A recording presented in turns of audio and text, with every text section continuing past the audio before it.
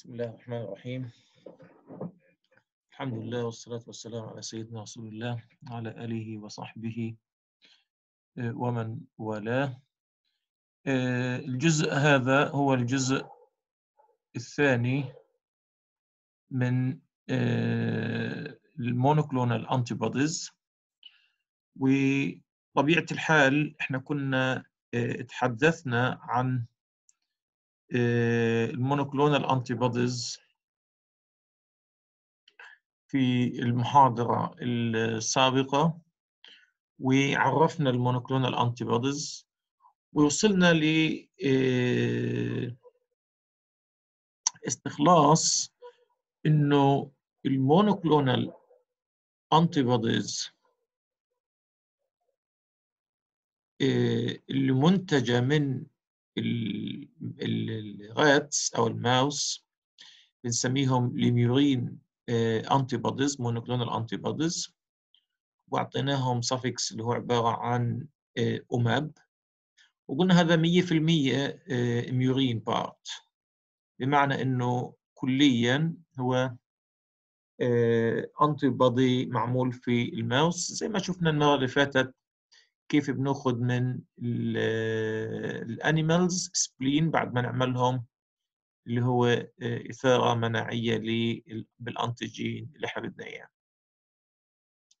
على كل حال كان في عندنا رد مناعي سيء في أغلب ال antibodies اللي أخذناهم من ال murine بشكل كامل ولذلك توجهنا إلى ال chimeric antibodies وال chimeric antibodies قلنا human constant region حتلاقي المنطقة السفلية هذه المنطقة اللي تحت كلها ال constant هذه مأخوذة من ال human والاختلاف حيكون أو اللي حنحافظ عليه من ال murine هو المنطقة ال variable و ximab بنسبة 30% اللي هو منطقة ال variable بالنسبة لل humanized حتكون المنطقة هذه اللي إحنا سميناها الأكثر تخصصية المنطقة الاماميه خالص من ال variable region اللي هي ال hyper فاريبل ريجون sensitive region هذه اللي سميناها الملفات sensitive region pointing region. هذه المنطقة هي المنطقة اللي إحنا بنحافظ عليها في humanized وهي لا تتعدى العشرة في المية ولذلك الزماب عندهم حوالي 90% أو أكثر اللي هو عبارة عن humanized humanized antibody فريم ورك مأخوذ بالكونستانت وجزء كبير من ال... وأيضا جزء من الفاريبل قلنا الصفر murine هو عبارة عن umab اللي هو عبارة عن fully human antibody إذا إحنا كل ما طلعنا في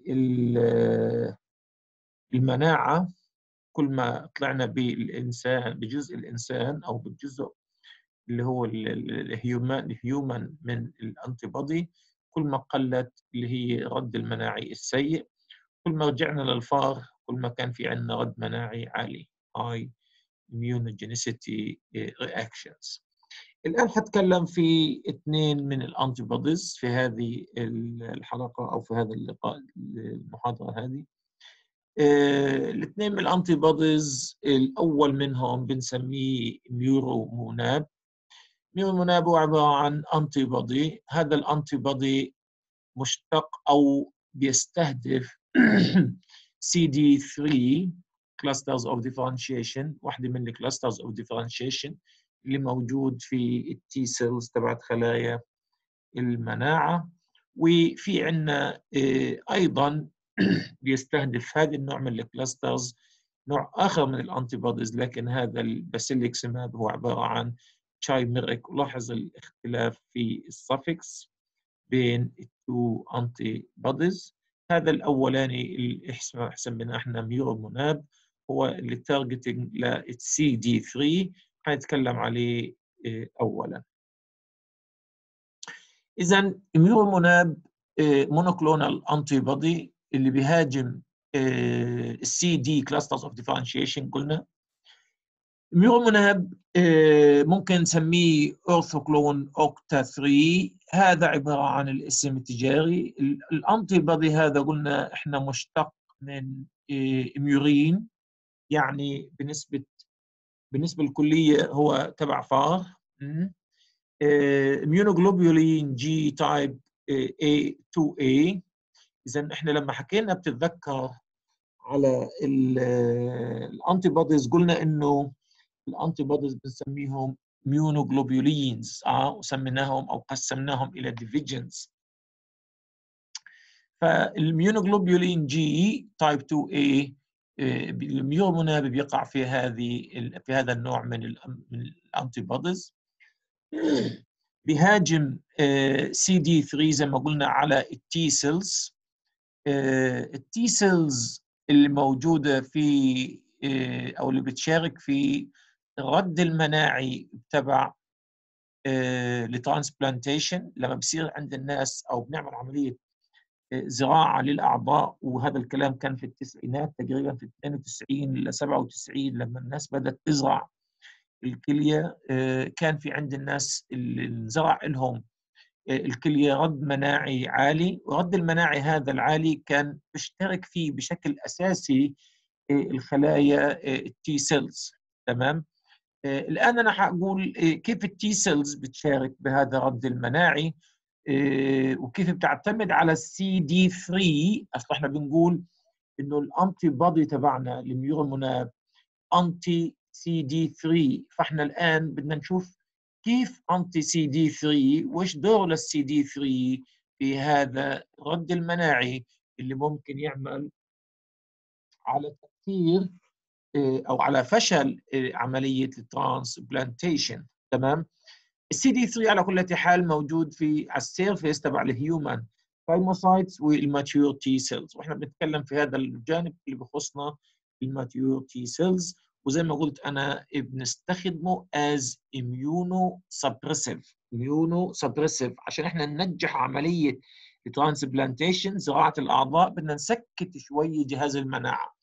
ولذلك طبعا تسكيت جهاز المناعة ممكن يتم بعدة وسائل من ضمن هذه الوسائل ال conventional high dose of steroids النسب العالية من ال steroids ممكن تعمل لكن ال muromonab بصراحة بيعطي نتائج ممتازة جدا في هذه الأحوال وطبعا يعني الناس بتقول إنه بيعطي 94% مقابل 75% لل steroids يعني هو أنجح من ال steroids لكن السؤال وين؟ إنه هل هذا الكلام له side effects ولا لا؟ هذا راح نشوفه لاحقا. ال recognition هو إنه النسيج أو إنه المناعة عادي النسيج الهدف أو النسيج المتطوع فيه أو الضيف. يعني إنه نهاجم الكلية الجديدة هذا بنسميه ال recognition العملية بتعتمد على complex بنسميه سي دي 3 سي دي 3 TCR T cell receptors هدول الناس الاثنين مع بعض الاثنين مع بعض T cell receptor مع ال T cell receptor مع السي دي 3 بيعمل complex هذا ال complex مهم جدا في عملية التعرف اللي بيقوم فيها ال TCR على ال antigen وتوصيل الإشارة للسي دي 3 اذا العملية بتبدأ كالتالي. خلينا أنتقل للصورة. آه. تعال نشوف الآن لو أنا عندي T cell هذه ال T cell زي ما إحنا شايفينها عليها complex بنسميه سي دي 3 TCR complex هو ال TCR الأساسي في التعرف على ال antigen. ال antigen في هذه الحالة هو هو ال antigen تبع أو هو جزء من الخلايا الضيفة اللي إحنا استضفناها اللي عباره عن الكلية أو اللي هي اللي هي جاية من ال donor من المتطوعين. ف اسمه ال TCR حيكون متصل أو حيتصل بالأول على على ال antigen و حيعتمد على السي دي 3 في توصيل إشارة داخلية داخل ال cell اللي هي اسمها T cell فلما الإشارة الداخلية تصير في السي T cell بصير ال T cell هذه اسمها إيه؟ activated T cell إذا إحنا عشان ننشط ال T cell بنحتاج antigen وهذا الطبيعي مش إحنا قلنا المرة اللي فاتت إنه الان إنه ال T cell بتعتبر على آه، ال antigen من ال antigen presenting cells مش في ناس عندهم antigen presenting cells أو antigen فإحنا محتاجين نتعرف على ال antigen الآن هذا ال antigen في هذه الحالة خلايا الكلية اللي هي جاية جديدة علينا. طبعا هذه مشكلة في هذه الحالة. لكن ال antigen بيرتبط على ال TCR بيعتمد ال TCR على السي دي 3 عشان يعمل activation اللي بيحصل إنه في عندنا activated T cell هذا ال activated T cell ممكن تروح إيه؟ قلنا تصير differentiation ويصير لها effector T cell إذا ال effector T cell رايحة تعمل عملية مهاجمة لمين؟ لخلايا الكلية اللي جاية علينا ولا سمح الله حتفشل مين؟ حتفشل ال transplantation ليه؟ لأنه تم استثارة ال T cell الآن إحنا الهدف من العملية اللي إحنا بدنا إياها إنه إحنا نوقف هذه ال signals وتوقيف هذه ال signals بدنا إياه النهاية يؤول إلى عدم تنشيط ال effector T cell فلذلك إيش بنعمل؟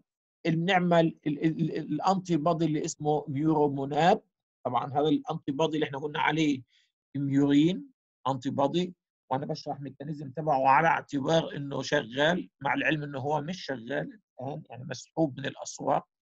لكن ال muromonab لا زال موجود ولا زال عليه شغل. لكن ما بيستخدمش كعلاج حاليا. عنده side effects كثير فلقوا إنه إحنا ممكن نستغني عنه.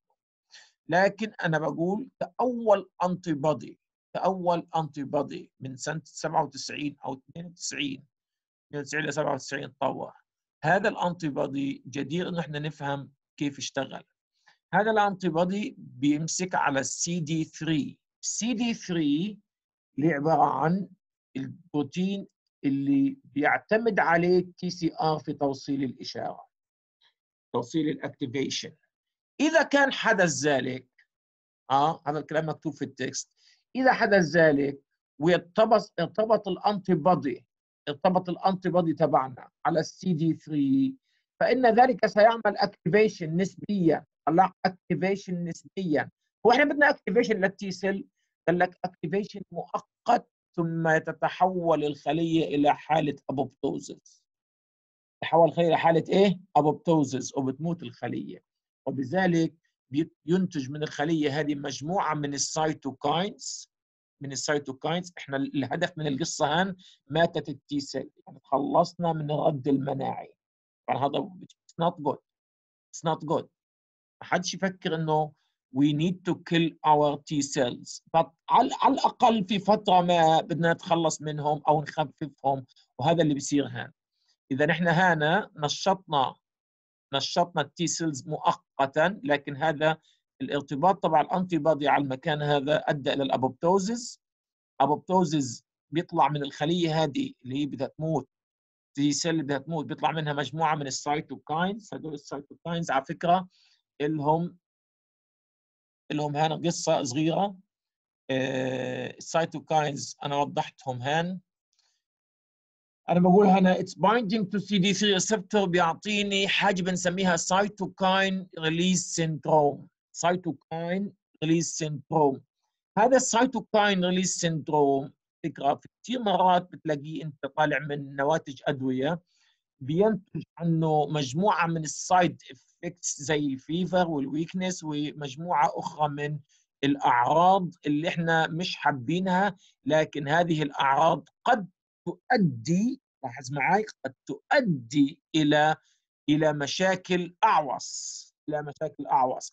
على كل حال هذا ال antibody هذا ال antibody كان عنده رد مناعي سيء. قلنا إحنا إنه إنه جهاز المناعة قد يستفز أيضا ضد ال antibody ولذلك في 50% من الناس أعطوا فرجونا أنه في عندنا bad immuno response تمام؟ عشان هيك تم سحب اللي هو مين؟